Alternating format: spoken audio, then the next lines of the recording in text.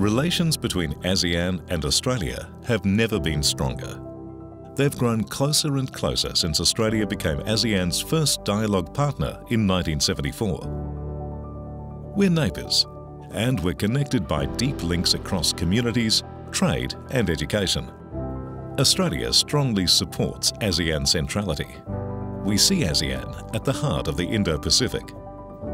Our cooperation spans ASEAN's three pillars, ranging from promoting safe labour migration in ASEAN to supporting implementation of RCEP and ANZFTA to combating transnational crime. Australia backs ASEAN priorities. Our development cooperation supports ASEAN policy on connectivity, the fourth industrial revolution, and narrowing the development gap. COVID-19 has challenged us all.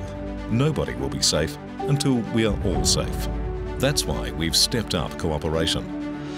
In June, we announced programs to support ASEAN to bolster health security, stability and recovery, including a new health security initiative. In September, we launched another package including $1 million for ASEAN's COVID-19 Response Fund and support for the Mekong on early detection of COVID-19.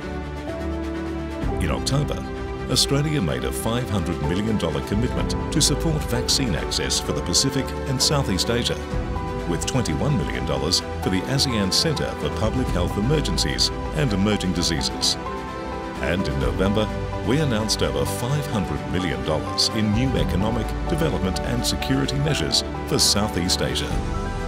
These packages are aligned with ASEAN's priorities, including the ASEAN Outlook on the Indo-Pacific.